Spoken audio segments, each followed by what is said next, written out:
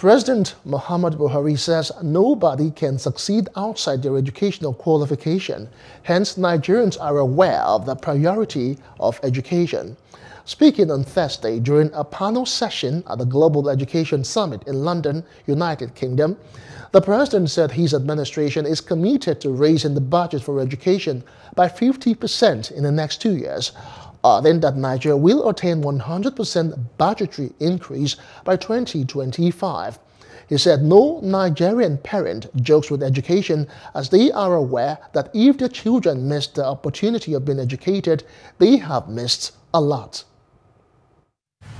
The fight for opportunities for education is very, very severe.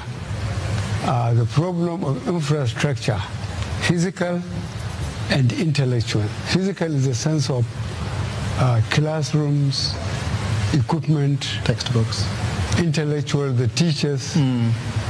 and uh, convincing those who are really qualified to go into teaching profession.